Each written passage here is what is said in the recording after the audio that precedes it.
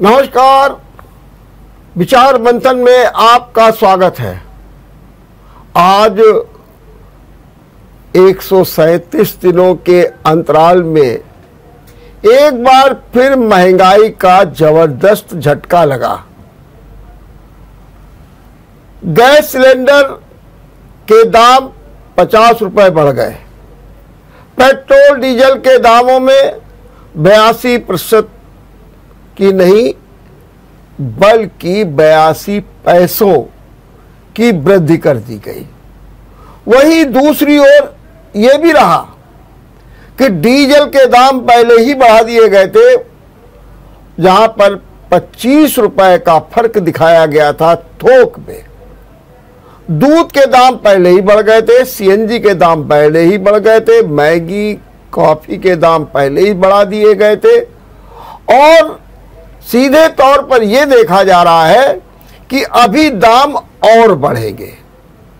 निश्चित रूप से जब ये स्थिति आई तो इस पर प्रतिक्रिया भी बहुत तेज़ी के साथ आई है।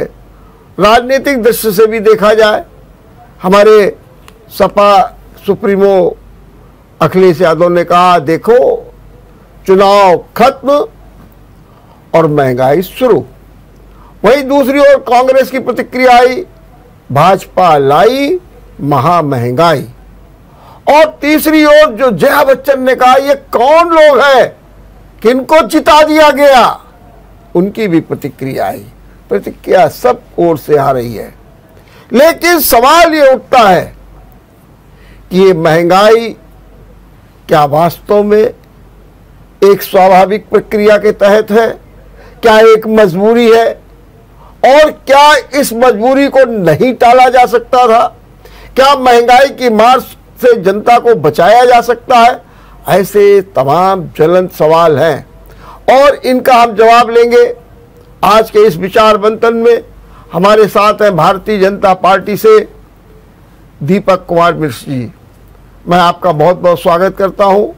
दीपक जी एक जाने माने चार्टर्ड अकाउंटेंट भी हैं और बड़ी बारीकी से अर्थ को समझते हैं, इसलिए बताएँगे कि आखिर क्यों ऐसी स्थितियाँ पैदा हुई।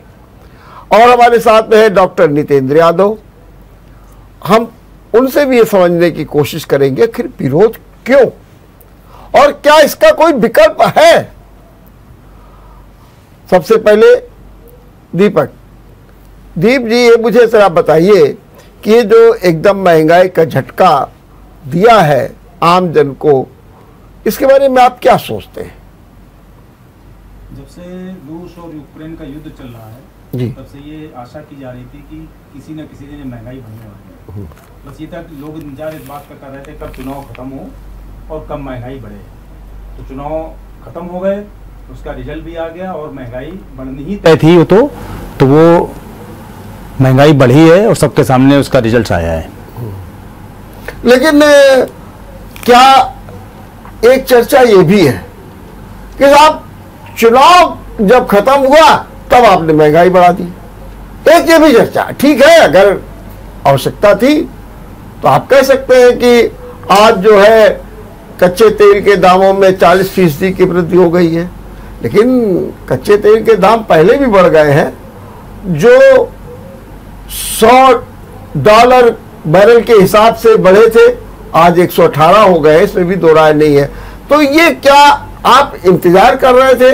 हमारी सरकार इंतज़ार कर रही थी कि जब मौका मिलेगा, तब करे, क्योंकि कहीं ऐसा ना हो कि चुनाव पर असर पड़ जाए। नहीं बिल्कुल ये तो होता ही है। ये मतलब कहीं ना कहीं जब चुनाव राजनीतिक दल लड़ रहे होते हैं तो उसमें कहीं कहीं ये तो रहते हैं कि किस किस चीज़ का प्रभाव जो है जनता के ऊपर पड़ने वाला है। जी। तो उस चीज़ को रोकने का प्रयास किया जाता है कि कितने समय तक उसको रोका जाए कितने समय तक रोक सकती हैं सारी चीज़ें। और जब तक प्रयास किया गया जब तक रोका जा सकता था तब तक उसको रोका गया। मतलब चुनाव तो खत्म हो गए थे पाँच तारीख को अपना दस तारीख को रिज़ल्ट भी सारे आ गए। लेकिन इतने समय तक अगर रोका गया तो उसके पीछे भी कुछ ना कुछ प्रयास लगे होंगे कि हाँ इतने समय तक इसको रोकर रोके रखा जाए देख कब तक इसको टाला जा सकता है महँगाई को।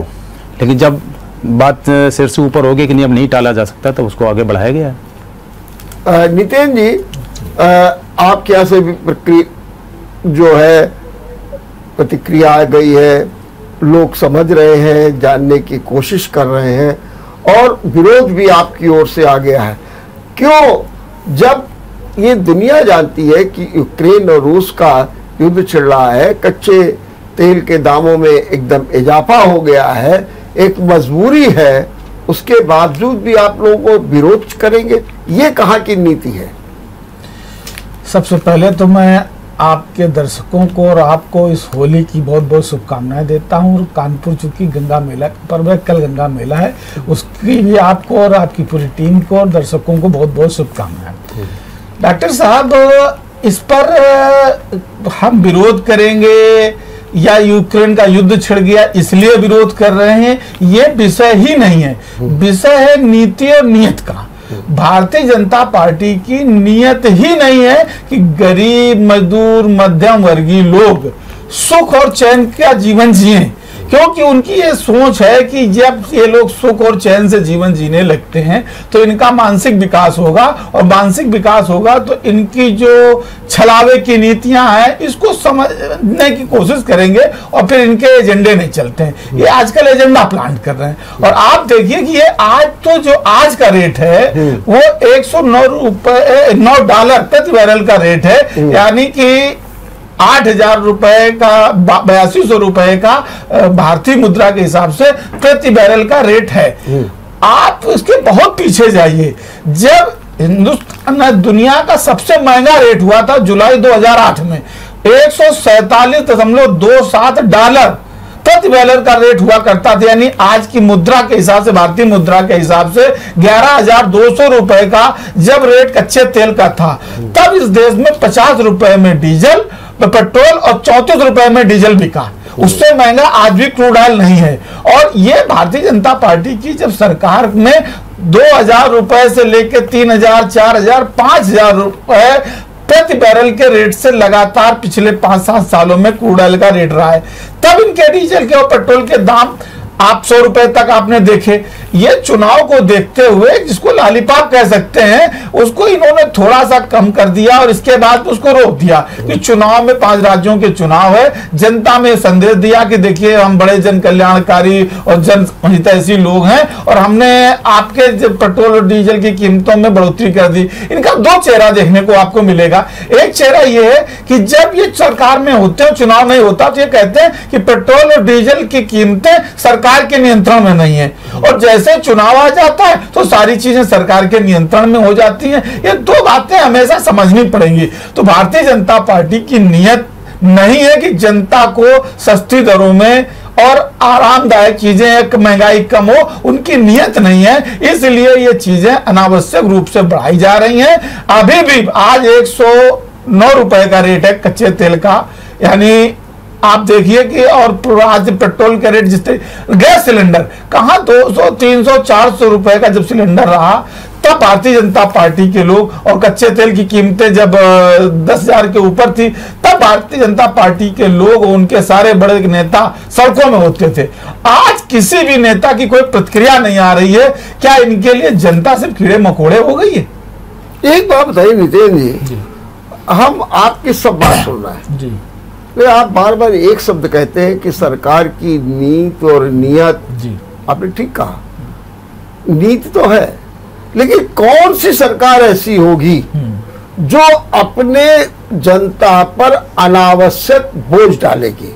महँगाई की मार से उसको त्रस्त करेगी। कौन सी ऐसी सरकार होगी? मैं तो नहीं समझता हूँ कोई और आप बार बार ये हमको समझाने की कोशिश कर रहे हैं कि बीजेपी गवर्नमेंट की नियत नहीं है और वो आम जन को बस बिल्कुल महँगाई की मार की चपेट में लाए। आखिर क्यों लाना चाहती है? उसका तो कारण बताइए हमको। देखिए रमा जी, ये सोच का फ़र्क होता है। एक सोच होती है समाजवादी समतावादी एक सोच होती है सामंतवादी। सामंतवादी सोच जो होती है और वो ये सोच होती है कि पूरी की पूरी जो जन आबादी बड़ी संख्या में है वो ज़्यादा से ज़्यादा गरीब हो कमज़ोर हो मजलूम हो शोषित रहे पीड़ित रहे। और वो सिर्फ़ दो वक्त की रोटी खाने को ही विकास समझे। और दूसरी सोच होती है कि अगर हम संभव बराबरी पर ले जाए या शिक्षित हो पढ़े लिखे हो समझदार हो इनका स्वास्थ्य ठीक रहे शिक्षा का स्तर ठीक रहे तो देश के विकास विकास में भागीदारी बनेगी। तो भारतीय जनता पार्टी की और उसके पीछे की जो सोच है, चाहे गुरु गोलवरकर का सुन- चाहे ठाट को देख लीजिए, उस पर बाकायदा की आइडियोलॉजी है कि चंद लोगों के हाथ में पूंजी हो। और मैं अधिकतर जो जनता हो, वो बहुत कमज़ोर हो, वो सिर्फ़ दो रोटी खाने को ही विकास समझे, कमज़ोर रहे, पीड़ित रहे तो वो उनके ऊपर आसानी से शासन कमज़ोर लोगों पर शासन आसानी से किया जा सकता है।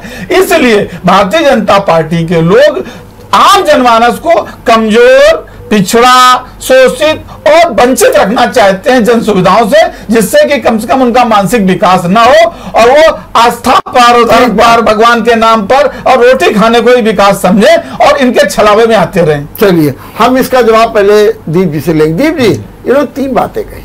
आपने देखा, ये कह रहे हैं, इनकी बातों से तो ये लगता है कि जैसे कि जानबूझ करके महँगाई की मार जो है, आम जन पर की जा रही है। क्योंकि इनका कहना है कि जिस दिन आम जन जागरूक हो गया, जिस दिन आम जन में मानसिक विकास हो गया, वो सोचने लगा तो निश्चित रूप से आस्था, धर्म, ध्रुवीकरण, ये सब बातें नहीं चलेंगी राजनीति में।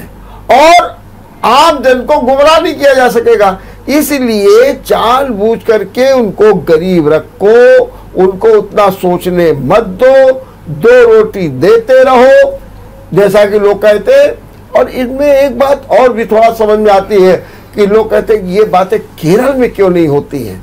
केरल में क्यों नहीं? आस्था का चलता है। तो कहते भाई, वहाँ के लोग बड़े समृद्ध हैं, विकसित हैं। क्या मैं दीप जी, ये जो नितिन जी बात कह रहे हैं इससे आप सहमत हैं ये आपका कोई तर्क है? नहीं, हम इस बात से तो पूर्णतया सहमत हैं हाँ। कि अगर लोग जो है जागरूक हो जाएँगे हाँ। उनका अगर दिमाग चलने लगेगा तो वो ध्रुवीकरण में नहीं फंसेंगे। बिल्कुल सही बात है। और ध्रुवीकरण में आदमी नहीं फंस रहा है उसी का रिज़ल्ट है कि पिछले जो अभी पाँच राज्यों के चुनाव हुए हैं और भारतीय जनता पार्टी को जो सफलता मिली है वो इस बात का रिज़ल्ट है कि चार राज्यों में उसकी पुनः फिर से सरकार बन रही है। है ना? तो इस बात का रिज़ल्ट है कि जनता सोचने लगी जनता इस बात को समझने लगी है कि उसके लिए हित में क्या है उसके अहित में क्या है। और सरकार की नीयत और नीति उस पर भी उसको पूर्ण विश्वास है। क्योंकि एक दो चुनाव हो तो आदमी सोच सकता है भाई कि आदमी मान लो एक दिन सोता रहेगा दो दिन सोता रहेगा। 2014 को चुनाव हुआ 2017 को चुनाव हुआ 2019 को चुनाव हुआ अब 2022 का चुनाव हो गया है ना। इसके पहले भी और छोटे छोटे चुनाव होते रहे। अलग अलग राज्यों में चुनाव होते रहे केंद्र के चुनाव हुए। तो जनता को अपना हित और अहित लोकतंत्र में सबसे बड़ा फैसला जनता का होता है। और उसका रिज़ल्ट हम लोग कहाँ से देखते हैं? जबकि चुनाव होता है और उसके बाद उसका रिज़ल्ट हम लोग देखते हैं कि कैसे चुनाव का रिज़ल्ट आया है। तो यह पैमाना होता है कि जनता सरकार के बारे में उसकी नीति के बारे में उसकी नीति के बारे में कैसे सोच रही है। ठीक बात। जनता को इस बात का पूर्ण विश्वास है कि ये देश माननीय नरेंद्र मोदी जी के नेतृत्व में और प्रदेश माननीय योगी जी के नेतृत्व में बिल्कुल सही ढंग से काम कर रहा है और हमेशा लगातार उत्तरोत्तर उसकी वृद्धि हो रही है। उसका हर मतलब चतुर्दिक विकास हो रहा मतलब किसी एक दिशा में नहीं हर तरीके से विकास हो रहा है। चाहे वो बच्चों के अध्ययन की दृष्टि से हो चाहे वो यूनिवर्सिटीज मेडिकल कॉलेज खोलने के लिए हो चाहे किसी मतलब जो, जो कोरोना पीरियड बीता उसमें किस तरीके से संसाधन और साधन सरकार ने उपलब्ध कराए ये सारी चीज़ें जनता को दिखाई पड़ती है। मतलब हम लोग इस बात के लिए केवल आपस में डिस्कशन कर लें भाई विपक्ष की ये ज़िम्मेदारी है और विपक्ष का ये धर्म भी है कि वो सरकार के फैसले का विरोध करे। लेकिन होता क्या कि जब विरोध तो करती है विरोध तो विपक्ष करता है लेकिन जनता का उसको समर्थन नहीं मिलता है।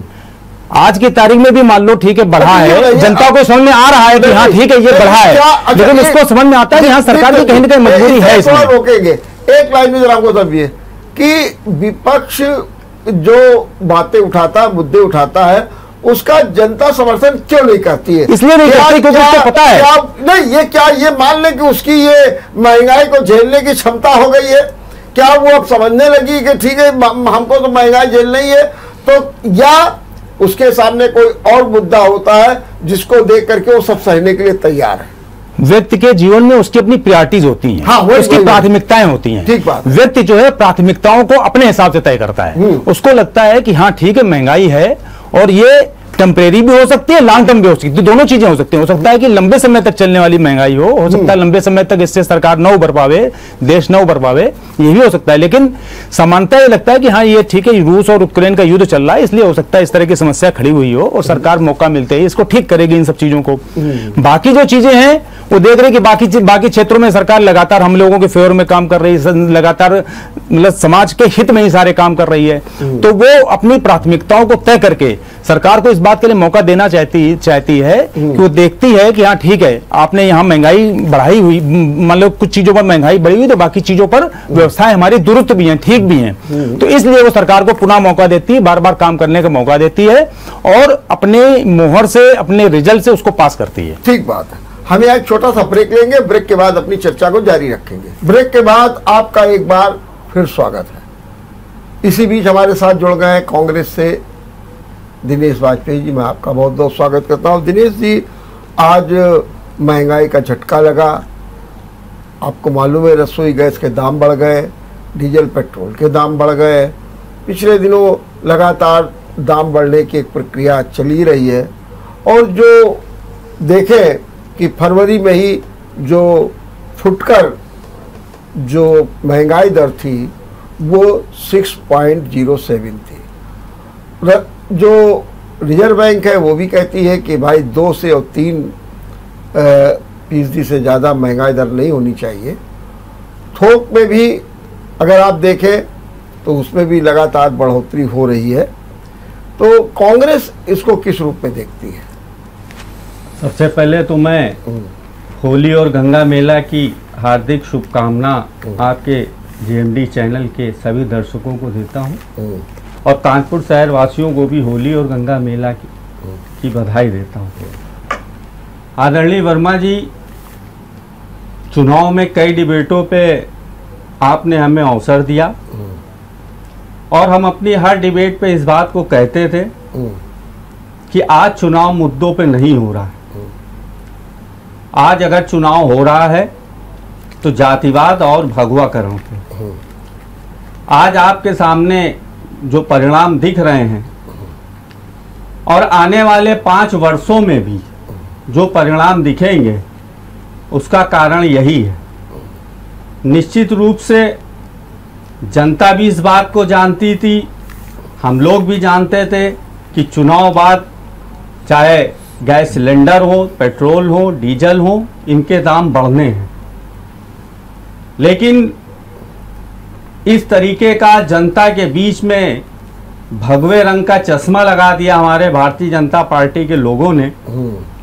और समाजवादी पार्टी लोगों ने जातिगत आधार पे जो चुनाव को आमने सामने लड़ा तो निश्चित रूप से वो मुद्दे उस वक्त गुम हो गए थे। अभी हमारे आदरणीय प्रवक्ता भारतीय जनता पार्टी जी के मिश्रा जी ये कह रहे थे कि साहब यूक्रेन में युद्ध चल रहा है रशिया के बीच में युद्ध चल रहा है तो पेट्रोल के दाम तो बढ़ने ही बढ़ने हैं जनता ये जानती है। तो निश्चित रूप से हम लोग भी सत्ता में रहे हैं कांग्रेस भी सत्ता में रही है। आदरणीय मनमोहन सिंह जब प्रधानमंत्री थे उस वक़्त वो दौर मंदी का आया था जिस दौर में अमेरिका कटोरा लेकर के भारतवर्ष आया था तो सवाल ये नहीं होता है कि इस बात को कहना पड़े आसानी से कि जनता तो भाई जानती है कि वहाँ युद्ध हो रहा है तो महँगाई तो हमने, जनता ने आपको मैंडेट दिया है। जनता ने आपको ज़िम्मेदारी दी है। आपकी ये ज़िम्मेदारी बनती है कि उस महँगाई पे किस तरीके से कंट्रोल करें। खाली इस बात को कह देना कि जनता जानती है जनता नहीं जानती है। आपने मैंडेट लिया है आपने जनता का विश्वास जीता है तो ज़िम्मेदारी भी आपकी बनती है। जिस प्रकार से अगर ताली सरदार को तो गाली भी सरदार को। ठीक बात। तो निश्चित रूप से आप ये मान के चलिए कि क्या राज्य सरकारों के अधिकार में नहीं है?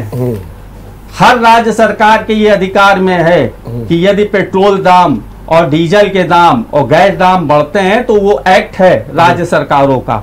उस एक्ट के तहत वो उसका रेट घटा सकते हैं। ये राज्य सरकारों के उसमें ये पावर होता है तो निश्चित रूप से ये उस पावर को नहीं इस्तेमाल करेंगे क्योंकि अगर उस पावर को ये इस्तेमाल करेंगे घटाएँगे हम्म। तो इनके अपने खर्चे नेताओं के जो विधायक बनाएँगे जो मंत्री बनाएँगे उनके खर्चे कहाँ से चलेंगे ठीक बात, ठीक तो। आज कुल मिला के आम जनता की जेब से पैसा घसीटा जा रहा है और आने वाले समय में आम जनता की ही जेब से पैसा घसीटा जाएगा और कहने को तो कह दिया जाएगा अरे भाई जय श्री राम हर हर महादेव। एक बात बहुत अच्छी बात कही।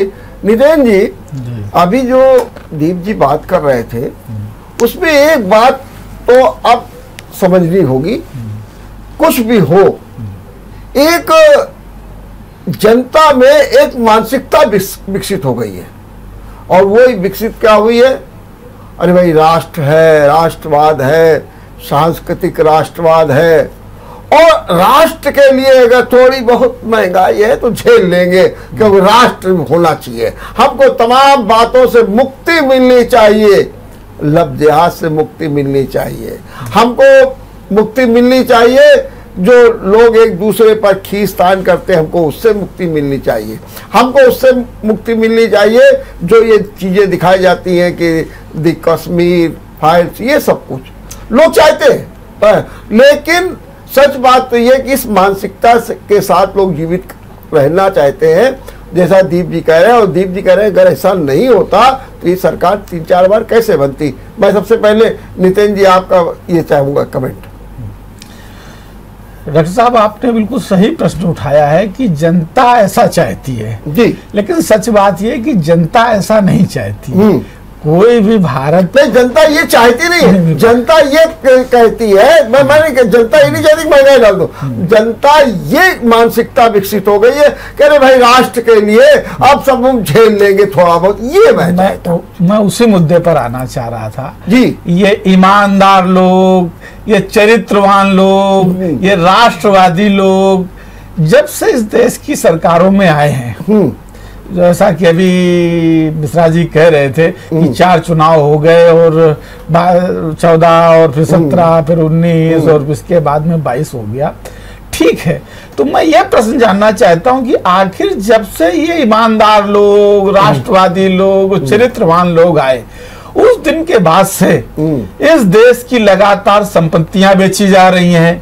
विदेशी कर्ज में कितने गुना की वृद्धि हो गई? 2014 के पहले विदेशी कर्ज देख लिया जाए 2014 के बाद का विदेशी कर्ज देख लिया जाए। उस समय की सरकारी संपत्तियों की स्थिति देख ली जाए। आज की सरकारी संपत्तियों की स्थिति की उस तब से लेकर कितनी बेच दी गई? आरबीआई की स्थिति देख ली जाए कि कितना आरबीआई से पैसा ले लिया गया। तो आखिर इसके पहले जो सरकारें थी और जब से ये ईमानदार लोग आ गए तो ये ईमानदार लोग क्या कर रहे हैं इस पैसे का कि देश में विदेशी कर्जा भी बढ़ रहा है अमन चैन भी खत्म होता जा रहा है महँगाई भी बढ़ती जा रही। भाई पेट्रोल जब अभी जैसा कि तर्क है कि यूक्रेन का युद्ध हो रहा है रसा का युद्ध हो रहा है क्रूड ऑयल का थोड़ा सा रेट बढ़ा है। थोड़ा सा रेट यानी अभी तो आठ हज़ार रुपए आया तो इनको बहाना मिल गया इन्होंने रेट बढ़ा लिए। और जब ये तीन हज़ार रुपए में दो हज़ार रुपए में ढाई हज़ार रुपए में पूरे इनके कार्यकाल में चौदह के बाद से ले दीजिए और कभी आठ हज़ार रुपए भी नहीं टच किया तीन हज़ार से लेकर के और दो हज़ार से लेकर के और पाँच हज़ार के बीच में लगातार कच्चा तेल रहा है। तो वो समय का जो प्रॉफिट था वो कहाँ चला गया? अगर वो प्रॉफिट आना चाहिए था तो देश के कम से कम कर्जा मुक्त हो जाता खुशहाली आ जाती और कानून व्यवस्था और शांति की जैसे कि आप राष्ट्रवाद के नाम पर ये मुक्ति मिल जाए तो आपको मैं बताऊँ अभी 48 घंटे के अंदर लगातार जो घटनाएँ हुई हैं इस प्रदेश के अंदर जिस तरीके से लोगों की हत्याएँ की गई हैं आपको मैं एक जानकारी दूँ अड़तालीस घंटे के अंदर प्रयागराज में छह हत्याएँ हुई। गाजीपुर में एक हत्या हुई गोरखपुर में तीन हत्या हुई है अयोध्या में एक हत्या हो गई अमेठी में दो हत्याएँ हो गई लखनऊ में दो हत्याएँ हो गई कन्नौज में दो हत्याएँ हो गई मेरठ में दो हत्याएँ हो गई यानी कि 19 हत्याएँ अड़तालीस घंटे के अंदर हो गई। यह किसी दो संप्रदायों के बीच का झगड़ा नहीं है। ये तथाकथित वही एक हिंदू दूसरे हिंदू को मार रहा जिसको ये कह रहे हैं सांस्कृतिक राष्ट्रवाद इनका है चलिए। ये बेमनुष्ठा फैलाने का काम कर रही है भारतीय जनता पार्टी और सिर्फ़ राष्ट्रवाद के नाम पर लोगों को गुमराह करने का काम कर रही है और लोगों का ध्यान भटकाने का काम कर रही है दीप जी राष्ट्रवाद के मुद्दे पर क्या आप लाभ उठा रहे हैं? नंबर एक। नंबर दो ये भी बात है कि जैसा भी हमारे कांग्रेस के दिनेश वाजपेयी जी कह रहे थे इन्होंने एक्ट की बात कही है। मैं एक्ट से हट करके भी बात कर रहा हूँ कि ये जो बैट है इतने परसेंट ले लिया जाता है यूपी में या राज्यों में। इसी प्रकार से एक्साइज ड्यूटी और essential excise duty extra excise duty के नाम पर जो केंद्र सरकार पैसा लेती है। क्या कारण है कि आप महँगाई तो बढ़ाते हो, उसी एवरेज में आपका बैट भी बढ़ जाता है एक्साइज ड्यूटी बढ़ जाती है। लेकिन आप ये कोशिश नहीं करते कि भैया अपने ओर से थोड़ा घटा दीजिए जनता पर बोझ न पड़े तो इसके बारे में क्या कहेंगे? नंबर एक सवाल पहला कि क्या राष्ट्रवाद के नाम पर आपको ये लग रहा है कि अरे अब तो देश हमारे साथ में है कुछ भी करे? और दूसरा सवाल कि जो ये एक्साइज ड्यूटी बैट क्यों नहीं कम किया जाता? पहले प्रश्न जो राष्ट्रवाद के नाम पर जनता हमारे साथ है जहाँ तक इसका जवाब है तो पहली बात तो अगर हम ये कहें कि जनता को गुमराह किया जा रहा तो ये जनता का अपमान है। जनता बहुत समझदार है वो अपना हित अहित सब समझती है। मतलब तुलसीदास जी ने कहा है कि हित अनहित नहीं मैंने ये नहीं कहा कि जनता को गुमराह किया जा रहा देखिए आप गलत बात कर रहे हैं। मैंने ये- कहा कि जनता ने अगर आपको मैंडेट दिया है या किसी राजनीतिक दल को दिया तो ये उसकी ज़िम्मेदारी बनती है। अच्छा बस एक बस, अब आप बोलिए। दीप- दीप जी का बोल दे। जी हाँ बोलिए। मतलब एक चौपाई है ना हित अनहित पशपक्षी जाने। में जब पशपक्षी तक अपना हित अहित जानते हैं तो ये तो मानव इंसान है वो अपना हित और अहित हर चीज़ में समझता है। उसको पता है कि कौन सी चीज़ उसके भले के लिए है कौन सी चीज़ उसके भले के लिए नहीं है। दूसरी चीज़ आई कि जो रेट घटाने और बढ़ाने की बात तो आज भी पूरे देश में अगर पेट्रोल के या डीजल के रेट सबसे ज़्यादा हैं तो उन राज्यों में ज़्यादा हैं जहाँ पर कि भारतीय जनता पार्टी की सरकार नहीं है। मतलब ये लिखा पढ़ी में कोई हम हमारे बताने से नहीं होगा। अपना लोग अपना देख लें पढ़ लें समझ लें अपना। दूसरी चीज़ फिर आती बात की कम क्यों नहीं किया जा सकता है? केंद्र सरकार ने एक बार किया दस रुपए तक कम किया गया एकदम से हाँ, एक झटके में कम किया गया। रहा जी। लोगों को कहना था कि आसन चुनाव इसलिए किया जा रहा है। वास्तव में यही होता है भाई चुनाव की चुनाव की तैयारी हर पार्टी करती है जो पार्टी सत्ता में वो भी करेगी जो विपक्ष में वो भी करेगी। मतलब सबको करना चाहिए इसमें कोई गलत भी नहीं है। केरल मॉडल जहाँ तक बात है आप ये देख लीजिए कि हम तो मतलब इस, इस बात में बहुत आश्चर्यचकित है कि पूरे मतलब भारतवर्ष से कोरोना लगभग खत्म हो गया। लेकिन केरल में कोरोना लगातार बना रहता है इतने पढ़े लिखे लोग हैं इतना समझदार लोग हैं उसके बाद भी वहाँ पर। तो ऐसे क्या कारण हो सकते हैं? जबकि प्राकृतिक रूप से वो बहुत समृद्ध है केरल जनसंख्या भी वहाँ इतनी नहीं है जितनी की जनसंख्या और दूसरे प्रदेशों में जैसे उत्तर प्रदेश में जनसंख्या बहुत है उसके बाद भी वहाँ पर कंट्रोल नहीं हो पाता है तो इसके पीछे के कारणों की जाँच करना बहुत ज़रूरी है। हमें तो लगता है इसके पीछे बहुत इंक्वायरी की ज़रूरत है कि वहाँ पर ऐसा क्या कारण है केरल में और दिल्ली में या महाराष्ट्र में जहाँ जहाँ ऐसी सरकारें वहाँ पर क्यों ये बढ़ता है? उसके पीछे और भी दूसरे कारण हो सकते हैं। तो ये तो तीन चीज़ें हो गई और रही बात फिर से हम उसी बात को रिपीट करेंगे। कि होता क्या है कि सरकार जो भी है जो जिसको सत्ता जनता ने सौंपी है कि आप इस देश का शासन चलाइए ये उसकी ज़िम्मेदारी है कि वो जनता का ध्यान रखे हर तरीके से ध्यान रखे। मान लीजिए कहीं कुछ गड़बड़ी हो रही है तो उसको ठीक करने की ज़िम्मेदारी उसकी है। इसी काम के लिए उसको बैठाला गया है।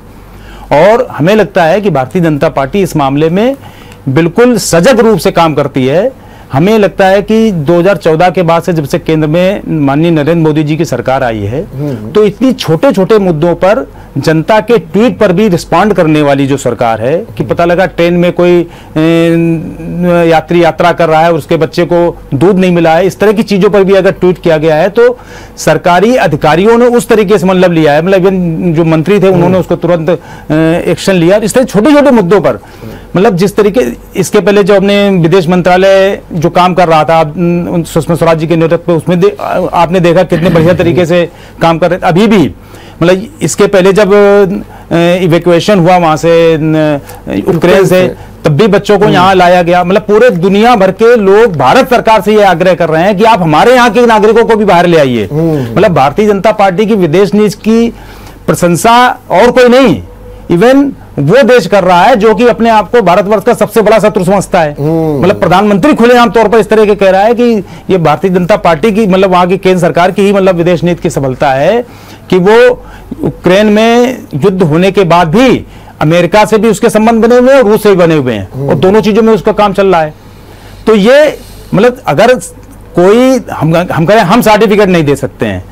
जनता सर्टिफिकेट दे सकती है जनता सर्टिफिकेट नहीं देती विदेशी लोग सर्टिफिकेट देते हैं और भी तरह तरह से लोगों को लगता है कि हाँ भाई ठीक है ये काम ठीक हो रहा है तो उसका उसका प्रमाण पत्र कहीं ना कहीं से मिलता रहता है और रही बात। ये अगर कुछ कमी हम्म। है तो ये जो भी विपक्ष में लोग हैं जो भी और भी दूसरे राजनीतिक दल हैं उनकी ज़िम्मेदारी है कि वो भी बताएँ हम्म। कि कहाँ कहाँ सरकार कमी कर रही है उसको ठीक करवाएँ ये ये उनकी ज़िम्मेदारी है हम्म। क्योंकि अगर मान लीजिए विपक्ष सोता रहेगा तो सत्ता कभी भी निरंकुश हो सकती है। ठीक बात है। भाई भारतीय जनता पार्टी जब विपक्ष में रही तो उन्होंने अपनी पूरी ज़िम्मेदारी का निर्वहन किया सत्ता को निरंकुश नहीं होने दिया और कोशिश ये की कि जो सरकार है वो हमेशा जागृत अवस्था में बनी रहे। तो इस समय मान लीजिए ये लोग विपक्ष में है भाई कभी किसी को मौका मिलता है काम करने का कभी किसी को मिलता है। आज मान लीजिए उनको विपक्ष की ज़िम्मेदारी निर्वहन करने का मौका मिल रहा है तो अपनी इस ज़िम्मेदारी का पूरी श्रद्धा से पूरी ज़िम्मेदारी से निर्वहन करें और जनता को दिखाएँ कि हम आपके साथ खड़े हैं। ठीक बात है। दिनेश जी आपने सुना कि दीप जी ने बड़ा भारी संकेत दे दिया। उन्होंने एक तरीके से गेंद जो है आपके पाले में डाल दी मतलब विपक्ष के पास कि भाई उनको करना चाहिए अब वो नहीं कर रहे हैं। तो क्या मैं ये मानूं दिनेश जी कि एक तो आपकी अब वो क्षमता नहीं रह गई विरोध का वो स्वर नहीं रह गया विरोध का वो तेवर नहीं रह गया जिसके कारण जो है बीजेपी को लाभ मिल रहा नंबर एक। और नंबर दो आप कोई विकल्प भी नहीं दे पा रहे हैं कि हम ये करना चाहते हैं। और तीसरा अगर ये देखा जाए तो जनता भी आपके ऊपर विश्वास नहीं कर रही है कि भाई आ, हम कांग्रेस से कोई राहत मिलने वाली है। तो क्या इसी का फ़ायदा जो है बीजेपी उठा रही है? देखिए सबसे पहले बात तो हम आपको पहली बात का जवाब दे दें जी कि कांग्रेस पार्टी और कांग्रेस के कार्यकर्ता हम्म। पिछले आप 10 वर्षों 15 वर्षों का रिकॉर्ड निकाल लीजिए हम्म। अगर जनता की लड़ाई लड़ती है तो कांग्रेस और कांग्रेस का कार्यकर्ता आपको सड़क पे लड़ाई लड़ता हुआ दिखेगा हम्म। निश्चित रूप से चाहे वो महँगाई हो चाहे लाइन ऑर्डर हो। आपको कांग्रेस का कार्यकर्ता सड़क पे दिखेगा दूसरी बात यह है जैसा अभी मिश्रा जी ने कहा देखिए आदरणीय प्रधानमंत्री जी आदरणीय योगी जी हम्म, कभी विपक्ष को अहम मसलों पे बैठाना ही नहीं चाहते हैं। हम्म, अगर कभी उन्होंने बैठाला हो आप बताइए हमारे यहाँ श्रीमती इंदिरा गांधी जी अपने नेताओं से वो राय नहीं लेती थी जो माननीय पूर्व प्रधानमंत्री अटल बिहारी वाजपेयी जी को बुला करके चूँकि वो विपक्ष के नेता थे यहाँ तक जब पाकिस्तान से बांग्लादेश के बंटवारे में भी बात हुई तो उन्होंने सिर्फ़ अटल जी को बुला करके राय उनसे राय ली। तो निश्चित रूप से जब आपके प्रधानमंत्री आपके मुख्यमंत्री विपक्ष को उन बैठकों में शामिल ही नहीं करना चाहते हैं बुलाना ही नहीं चाहते हैं तो देखिए कोई भी दल हो बगैर बुलाए बगैर आमंत्रण के वो नहीं नहीं कांग्रेस वाजपेयी जी तो इसको तो हम यूँ भी तो ले सकते हैं कि वो अपने को इतना सक्षम समझ रहे हैं कि उन्हें ज़रूरत नहीं है। और दूसरा, विपक्ष के पास अटल जी जैसा कोई व्यक्ति भी नहीं है जिससे वो राय में लेने की ज़रूरत पड़े तो सच बात तो ये है। और आप लोगों के यहाँ तो खुद ही क्या स्थितियाँ हैं, ये दुनिया जानती है। तो आपको क्या ये मानने में, ये स्वीकार करने में क्यों गुरेज है क्या विपक्ष की वो स्थिति नहीं रह गई है, जिसके कारण जो है भाजपा को कुछ सोचना पड़े ये मेरा कहना है। देखिए आदरणीय वर्मा जी कहीं ऐसा नहीं है। उस वक्त भारतीय जनता पार्टी की एक सीट हुआ करती थी हम्म। दो सीटें होती थी। हमारी फुल सरकार थी। वाजपेयी जैसा नेता भी तो था उनके पास कद काठी का हमें तो दो ही आती थी। आपके पास इस समय क्या है? आपके पास कौन सी चीज़? है अगर आप देखिए सपा में देखिए तो अखिलेश जी के अलावा विचारों के पास वही बिचारे लगे हुए हैं। आज उन्होंने इसीलिए इस्तीफा दे दिया और लोकसभा से इसलिए दे दिया कि प्रदेश अब संभालना है। देखिए देखिए देखिए आप आप आप ने ये कैसे कह दिया कि हमारे यहाँ वो नेता नहीं है? हम्म। अरे आदरणीय नरेंद्र मोदी जी को गुलाम नबी जी ज़्यादा अच्छे लगते हैं उन्हीं को बुला करके कम से कम बैठ करके उन्हीं को शामिल कर ले। अच्छा ये बातचीत है। आप बात तो हाँ, समझिए। समझ लेकिन वो किसी को शामिल ही नहीं करना नहीं, चाहते नहीं करना चाहते बहरहाल वो। नितिन जी। क्या करना है? अब तो आपकी भूमिका बड़ी अहम हो गई है इस प्रदेश में। जी। और अखिलेश जी ने तो ऐसा लगता है कि आज से बिल्कुल कमान संभाल लिए कि सदन से लेकर के सड़क तक हम अब संघर्ष करेंगे। इसीलिए उन्होंने जो दिल्ली से अपना नाता आता भी तोड़ लिया। तो ऐसे मुद्दों पे जहाँ पर महँगाई की बात होगी जहाँ पर क्या होगा क्या करेंगे आप? देखिए आदरणीय राष्ट्रीय अध्यक्ष समाजवादी पार्टी अखिलेश यादव जी ने हम्म, जनता के जनादेश का सम्मान किया है। हम्म। जनता ने उनको मज़बूत विपक्ष की भूमिका में बैठाला है। हम्म। तो वो सदन में रह करके और जनता की आवाज़ को बुलंद करने का काम करेंगे जो विपक्ष का एक फ़र्ज़ होता है। वो उन्होंने बाईमानदारी काम किया है और यही करना चाहिए था जो उसके उनके फैसले का पूरी पार्टी ने और सारे लोगों ने स्वागत किया है। और वो सदन में रह करके कम से कम सरकार पर अंकुश लगाने का काम करेंगे जिससे सरकार बेलगाम होकर के लोगों के जन भावनाओं के साथ खिलवाड़ ना करे। क्योंकि और जैसा कि अभी हमारे भारतीय जनता पार्टी के साथी कह रहे थे कि जनता जानती है और उसके बाद वो मैंडेट देती है और वो उसके मैंडेट के हिसाब से ही सब चीज़ें हो रही हैं। तो मैं पूछना चाहता हूँ क्या भारतीय जनता पार्टी जब चुनाव लड़ने आई थी तो क्या आपने चुनाव घोषणा पत्र में डिक्लेयर करके आई थी कि हम चुनाव में के बाद आएँगे तो डीजल के रेट बढ़ा देंगे पेट्रोल के रेट बढ़ाएँगे गैस सिलेंडर के दाम बढ़ा देंगे जो हम हर चीज़ के रेट बढ़ाते जाएँगे लैंड ऑर्डर को पूरा बर्बाद कर देंगे रोज हत्याएँ करवाएँगे। क्या ऐसा मैंडेट जनता ने दिया था? जनता ने उनके लोक लुभावन घोषणा पत्र के आधार पर मैंडेट दिया था कि आप आएँगे तो प्रदेश में राम राज्य स्थापित करेंगे महँगाई को कम करेंगे और लोगों को शिक्षा की व्यवस्था करेंगे। अभी जैसा कह रहे थे कि शिक्षा को बहुत अच्छा कर दिया ऐसा। मैं अभी आपको लेटेस्ट एक उदाहरण देना चाहता हूँ कि जेएनयू जैसी यूनिवर्सिटी में ग्यारह पद पीएचडी और एमफिल के हुआ करते थे। उसको घटा करके एक सौ चौरानवे करने का काम इन्हीं की सरकार ने अभी किया। ये सच्चा का विस्तारीकरण इन्होंने किया है। जो वहाँ पर फ़ीस होती थी मेडिकल की अस्सी हज़ार रुपए उसको बढ़ा करके इन्होंने दो लाख करने का काम किया है। ये शिक्षा के विस्तारीकरण पे बड़े अच्छे काम कर रहे हैं। कितने नए मेडिकल कॉलेज कितने यूनिवर्सिटियों क्या क्या इन्होंने शिक्षा के विस्तार में किया है ये इनसे बेहतर कोई जानता नहीं। मुझे सिर्फ़ ये कहना है कि और जैसा कि उन्होंने कहा जनता जनता ने बहुत बड़ा मैंडेट दे दिया है। जन हमेशा स्वामी विवेकानंद ने भी एक बात कही है कि crowd is not always truth. कभी कभी भीड़ भी एकदम तो वो देखती कुछ है उसको दिखाया कुछ जाता है और बाद में रिज़ल्ट कुछ आता है तो जनता कभी कभी कंफ्यूज भी हो जाती है और जिस काम को करने में भारतीय जनता पार्टी को महारत हासिल है। मेरा तो ये कहना है विषय पर। दीप जी मैं आपसे हाँ अच्छा आप कुछ कहना चाहते पहले पहले पूछ पूछे। उसी मैं, मैं, मैं केवल ये पूछना चाहता हूँ कि एक जनता में मानसिकता और भी डेवलप हो रही है। वो हो रही है कि सरकार के इतने खर्च हैं, इतने खर्च हैं, क्या सरकार अपने खर्चों में कोई कटौती नहीं कर सकती है? क्या जो दिव्यता के साथ, भव्यता के साथ, बड़े ग्लैमर के साथ में सब कुछ हो रहा है, क्या उससे जो है अर्थव्यवस्था को नहीं सुधारा जा सकता है? नंबर एक और नंबर दो, क्या ये जो महँगाई बढ़ रही इसका कोई विकल्प विकल्प भी है कि नहीं है कि ऐसे ही जनता जो है इस महँगाई की मार को झेलेगी? दोनों चीज़ें अलग अलग हैं। जहाँ पर आपको सादे तरीके से कोई काम करना है हम्म। वो सादे तरीके से किया जाता है हम्म। और जहाँ आपको अपनी भव्यता का प्रदर्शन करना होता है दिव्यता का प्रदर्शन करना होता है वहाँ वो काम किया जाता है। हम्म। ये आवश्यकताएँ होती हैं। हर एक काम की अलग अलग आवश्यकताएँ होती हैं उस तरीके से सरकार काम करती है। रही बात ये कि महँगाई की जहाँ तक बात आई भाई साहब ने कहा कि क्या इसीलिए महँगाई बढ़ाने के लिए दिया गया था? मैंडेट हम्म, हम्म। लेकिन विपक्ष तो बार बार ये कह रहा था कि अभी चुनाव खत्म होंगे तुरंत पेट्रोल के और डीजल के दाम बढ़ने वाले हैं सिलेंडर के दाम बढ़ने वाले हैं। जनता ये सुन रही थी उसके बाद भी जनता ने चुना है उस चीज़ को हाँ।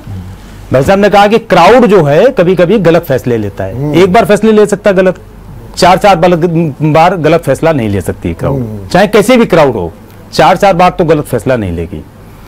क्योंकि उसको पता है फिर हम फिर हम इस बात को हम बार बार इसलिए बार बार कहते हैं रिपीट करते हैं। आप, आपने गोस्वामी तुलसीदास जी को भी देखा होगा कि जिस चीज़ को महत्वपूर्ण समझते हैं उसको बार बार उन्होंने लिखा है मानस में।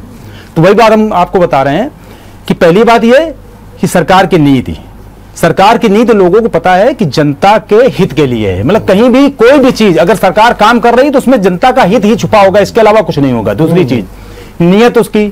तो नियत साफ़ है क्योंकि यहाँ पर ना तो परिवार को पलवित पोषित करने वाली कोई सरकार है? ना किसी वर्ग का किसी वर्ण का किसी का मतलब तुष्टिकरण करने वाली सरकार है। यहाँ सबका साथ सबका विश्वास सबका विकास। मतलब इस तरीके का काम करने वाली सरकार है। दूसरी बात यह है कि जो नेतृत्व है नेतृत्व आदमी देखता है किस तरीके का है? हम्म। नेतृत्व उस तरीके का है जिसके पास अटल जी का तो उदाहरण लोगों ने देखा भाई उनके प्रधानमंत्री थे उसके बाद जब उन जिस समय वो हटे हैं उसके बाद से उनकी क्या स्थिति रही किस तरीके से वो उनके बाद मतलब जो उनकी कुल मिला के संपत्ति कितनी रही मुझे वही बात इसी बात को वही बात- वही बात- क्योंकि विषयांतर हो जाएगा मुझे मिश्रा जी की बात पर अभी जवाब देना है। आपने कहा कि ये भारतीय जनता पार्टी किसी परिवार को पल्लवी पुष्पित करने के लिए नहीं है। बस और तीन लोगों के नाम लेकर के आते हैं अटल बिहारी वाजपेयी जी नरेंद्र मोदी जी योगी जी। ये तीनों लोग ऐसे व्यक्ति थे जिनके पीछे कोई परिवार नहीं है। ठीक? इसके अलावा ये भूल जाते हैं कि राजनाथ जी के बेटे पंकज सिंह कहाँ से आए? ये किसी परिवार का हिस्सा नहीं है। कल्याण सिंह जी के बेटे राजवीर और राजवीर के बेटे राज संदीप ये चीज़ें ये कहाँ से आ गए? ये अनुराग ठाकुर का किस संघर्ष की उपज है? ये जैसा क्या वहाँ क्रिकेट की पिच में चाय पिलाया करते थे पानी पिलाते थे और जिसका संघर्ष करते हुए ये बीसीसीआई के चेयरमैन बने ये वसुंधरा राजे के बेटे जसवंत सिन्हा के बेटे ये लाइन से एक लंबी फहरिस्त है अब वो- ये परिवार किसका परिवार है? ये संघर्ष का परिवार है। एक- तो बात ये कहनी है। अब- अब- दूसरी एक बात और कहनी है। अभी लगातार जो लोकतंत्र की हत्या हो रही है आप देख रहे हैं जैसा एक दौर इस देश में ये भी चला कि पूरी की पूरी विपक्ष विहीन हो गई संसद। तो उस दौर के नेताओं में एक मोरल था कि सदन से दो सदस्यों का इस्तीफा कराया गया और भारतीय जनता पार्टी जो उस समय जनसंघ होती थी अटल जी और अन्य जैसे लोगों को जिताकर संसद में विपक्ष के रूप में लाया गया। और आज जो लगातार मैं देखने जा रहा हूँ कि कल जो विधान परिषद का चुनाव है कि लोक विधायक के प्रत्याशी जो विपक्ष का एकमात्र विपक्ष की भूमिका समाजवादी पार्टी निभा रही है भारतीय जनता पार्टी से लड़ रही उनके पर्चे नहीं दाखिल पुलिस खड़ी है पुलिस मुख दर्शक है और भारतीय जनता पार्टी के लोग प्रत्याशी का पर्चा छीन कर चले जा रहे हैं। ये लोकतंत्र है। ये इस पर क्या कहना है। लोकतंत्र की हत्या सरेआम हो रही है। क्या अभी जैसा कहते हैं कि एक ट्वीट नहीं नहीं एक ट्वीट का संज्ञान लेते हैं प्रधानमंत्री जी। क्या इसका संज्ञान लेंगे? पुलिस खड़ी है और प्रत्याशी का पर्चा छीन लिया गया। चलिए अब इस पर बाद में डिस्कशन करेंगे। अभी जरा थोड़ा सा इसी पर डिस्कशन करके हम इसको बात करना चाहते हैं। सबसे पहले दिनेश जी मुझे एक बताइए। क्या आपको लगता है कि महँगाई का जो ये स्वरूप है ये और विकराल होगा। लोग कहते हैं कि पंद्रह रुपए और बढ़ जाएँगे बीस रुपए बढ़ जाएँगे। क्या आपको लगता है? और दूसरा क्या इसका कोई विकल्प आपके पास है कि कैसे रोकी जाए इसको? निश्चित रूप से आप मान के चलिए कि आने वाले समय में चरम सीमा पे महँगाई होगी। हाँ। और भारतीय जनता पार्टी वालों के पास सिर्फ़ यही बात होगी कि यहाँ युद्ध हो रहा वहाँ युद्ध हो रहा। है दूसरी बात मैं मिश्रा जी की बात की बार बार ये कह रहे हैं कि हमारी सरकार की नीयत ठीक थी। देखिए अगर आपकी सरकार की नीयत ठीक होती तो चुनाव वो धर्मवाद पे ना लड़ते मुद्दों पे चुनाव लड़ते। दूसरी बात है। अब और- चुनाव की बात बाद में भी तो महँगाई की बात करें महँगाई की बात कर। निश्चित रूप से मान के चलिए कि महँगाई चरम सीमा पे जाएगी और इनके यहाँ कोई काबिल है भी नहीं। चलिए हो गया। वो वो दूसरी बात है। नितिन जी मुझे जरा एक बात महँगाई का स्वरूप क्या आपको लगता है? और विकराल होगा। नंबर एक, क्या आपके पास भी कोई विकल्प है या कोई ऐसा समाधान है कि जो अगर बीजेपी पूछे या योगी सरकार पूछे तो आप उसको बता देंगे हाँ साहब ऐसा कर दीजिए तो जनता को राहत मिल जाए। क्या ऐसा कुछ है आपके पास? निश्चित रूप से। हाँ। ये विचारधारा ही विकल्प देती है हाँ। और समाजवादी विचारधारा ही हमेशा रही है कि किस तरीके से सरकार अपने खर्चों की और विलासता की कटौती करे और जन कल्याण में जो सरकार का राजस्व जनता का राजस्व है वो पहली प्राथमिकता होनी चाहिए कि इसको जन कल्याण में खर्च किया जाए। इसी के पीछे सब्सिडी की एक व्यवस्था थी। जैसा भारतीय जनता पार्टी खारिज करती है कि नहीं सब्सिडी जैसी कोई चीज़ नहीं होनी चाहिए। जिससे कि इनके यहाँ तो ये भी कह देते हैं हरामखोरी शब्द। ये तो हरामखोरी पैदा करने की बात है। मैं नहीं लेकिन जनता का यही होता है कि किस किस तरीके से? अब मैं बात उसी को लेके आ रहा हूँ कि किसान है हमारा। अब किसान को क्या दो हज़ार रुपए दे देने से भारत आत्मनिर्भर बन जाएगा? ठीक बात, नहीं, नहीं उसमें होना ये चाहिए विकल्प है कि आप उसको सस्ते दरों पर डीजल दें हाँ। सस्ते दरों पर कीटनाशक दें उसके जो कृषि सब्सिडी है वो सस्ता आप- कर से- सस्ता करें हाँ लागत घटे। आपका उसकी- कहना है सब्सिडी बढ़ा देनी सब्सिडी के उसको व्यवस्था ऐसी है कि टैक्सेस घटाए जाए। अच्छा, कोई टैक्सेस घटाए जाए और जनता को राहत देने सब कम दामों में चीज़ें मिले और उसका प्रोडक्शन का सही कीमत मिल जाए वो आत्मनिर्भर हो जाएगा। चलिए मैं एक बस एक ही सवाल हो क्या आपको लगता है कि महँगाई अभी और विकराल रूप लेगी या इस पर अंकुश लगेगा? निश्चित रूप से महँगाई ही अकेले विकराल नहीं रूप लेगी। महँगाई के साथ बहुत सारी चीज़ें बहुत बहुत, सारी चीज़ें अभी बदलने जा रही हैं और एक क्रांति का माहौल होगा इस देश के अंदर। चलिए। दीप जी मैं आपसे जानना चाहता हूँ कि आप भी ये मानते हैं कि क्योंकि आप तो कह रहे हैं कि भाई युद्ध चल रहा है तो युद्ध चलने के कारण क्या आपको भी लगता है जैसा कि आंकड़े भी कह रहे हैं कि सरकारी कंपनियाँ जो है पंद्रह रुपए तक बढ़ा सकती हैं। क्या आपको लगता है कि बढ़ेगी? और बढ़ने के बाद भी जनता उसको स्वीकार करेगी? जैसा कि आप कह रहे भाई राष्ट्रवाद है। लेकिन क्या आप भी कोई इसका विकल्प रखते हैं कि, अरे भाई, अगर पंद्रह रुपए की बात आएगी तो हम इसकी जगह पर ये काम करेंगे? क्या आप है कुछ? विकल्प की जहाँ तक बात है, जो ऑयल का विकल्प है हम्म। वो सरकार ने उसके लिए सोचना अभी से नहीं 2014 से सोचना चालू कर दिया था जो इलेक्ट्रिक व्हीकल्स हाँ। इसकी दिशा में इतना बड़ा काम सरकार ने किया हुआ है कि इस अगले एक साल के अंदर हम्म। आप ये समझ लीजिए पूरे देश भर में हम्म। एक संख्या आई थी संख्या इसमें मैं एग्जैक्ट याद नहीं है इतने सारे चार्जिंग स्टेशन बनाए जा रहे हैं केवल इलेक्ट्रिक व्हीकल्स के लिए हाँ। है ना इलेक्ट्रिक व्हीकल्स इलेक्ट्रिक। व्हीकल्स के को के प्रोडक्शन को उससे जोड़ा गया है बजट में लिया गया है इसके अलावा जो उसके लिए जो उसके व्हीकल्स होंगे उस पर टैक्स कम रखा गया है कि लोग उसको खरीदे खरीदें उसका प्रयोग ज़्यादा करें। एक चीज़ दूसरी चीज़ वैकल्पिक ऊर्जा। हाँ। जैसे अपनी ये पवन ऊर्जा होती है सौर ऊर्जा होती है इसके प्रयोग को बढ़ावा देना। इन इन दोनों देशों इन दोनों मतलब चीज़ों में सरकार पूरे विश्व में नेतृत्व कर रही है आज की तारीख में। सौर ऊर्जा को one one sun one one grid बढ़ेंगे? दाम दाम तो बढ़ेंगे अभी तो। नहीं हो सकता है थोड़े बहुत बढ़े हो सकता है बाद में ठीक हो। इनमें करेक्शन भी होगा। ऐसा नहीं कि ये सब चीज़ें कि कोई ऐसी चीज़ें। मतलब दौड़- दौड़ने वाली चीज़ें आगे दौड़ेगी। ये सब चीज़ें करेक्शन भी इनमें होता है। जैसे अपने सौर ऊर्जा के क्षेत्र में वन सन वन ग्रिड ये मोदी जी का आह्वान है पूरे विश्व से और हमें लगता है उस दिशा में बहुत बड़ा काम करने जा रही है सरकार। तो ये ये सारे जो वैकल्पिक साधन है उनका उपयोग करके सरकार इन सब चीज़ों पर नियंत्रण करेगी। इनका अपने आप उपभोग कम होगा और अपने आप इसमें कीमतों में नियंत्रण आएगा। तो ये हंड्रेड परसेंट होगा। चलिए बहुत बहुत धन्यवाद बहुत बहुत धन्यवाद। दीप जी आपको नितिन जी आपको और दिनेश जी आपको। और निश्चित रूप से आज एक बात तो सामने आई है। महँगाई बढ़ रही है उसके कुछ कारण है। जनता उसे ऑब्ज़र्व कर रही है, चाहे वो राष्ट्रवाद की बात हो या कुछ भी हो, या ये भी मान लिया जाए कि जनता का भी इतना विकास नहीं हुआ है। लेकिन दूसरी ओर सरकार जो है, विद्युतीकरण करके और उसके भी कई विकल्प प्रस्तुत करके वैकल्पिक ऊर्जा के एक नई व्यवस्था को जन्म दे रही है। आने वाले समय में ये जो तेल की समस्या है, तेल के बढ़ते हुए दाम है, जो हम अंतर्राष्ट्रीय मूल्यों पर निर्भर करते हैं, उससे भी हमको राहत मिलेगी। देखते रहिए विचार मंथन। नमस्कार। अगर आपको हमारा वीडियो पसंद आया हो तो हमें लाइक करें सब्सक्राइब करें और ज़्यादा से ज़्यादा शेयर करें। और हाँ बेल आइकॉन दबाना ना भूलें, ताकि हर खबर का अपडेट आप तक पहुँचे तुरंत। आप हमें इंस्टा ट्विटर और फेसबुक पर भी फॉलो कर सकते हैं। हमारी आईडी है at the rate J M D news flash